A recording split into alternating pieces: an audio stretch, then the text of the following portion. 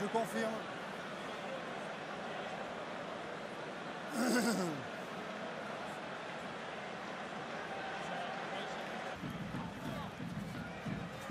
On va essayer de laisser partir un peu parce que euh,